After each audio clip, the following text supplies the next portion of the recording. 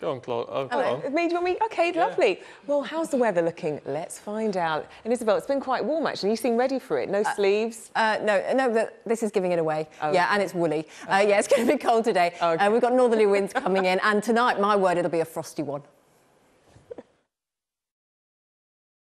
From a fresh coastal breeze to watching the sunset on the Australian outback.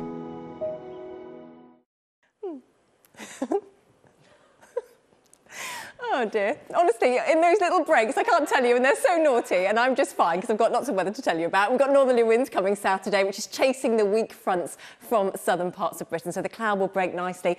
Any showery rain in the south will clear. There will be showers scattered across these eastern coastal counties, though. They'll continue all day long. So quite a chill to that northerly wind today across eastern Scotland and running down through eastern England. The rain showers on and off there, temperatures of 8 to 10, but elsewhere, lovely. Yes, it's fresher with that northerly breeze, but a good deal of sunshine is expected. And we'll have temperatures up to about, say, 8 in central Scotland, 11 for Belfast and the Midlands, and maybe some southern counties of Ireland and Britain getting up to about 13 to 15 degrees.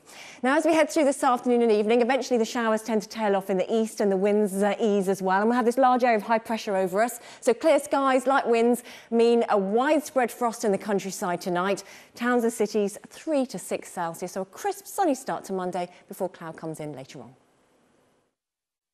The weather, sponsored by Qatar Airways.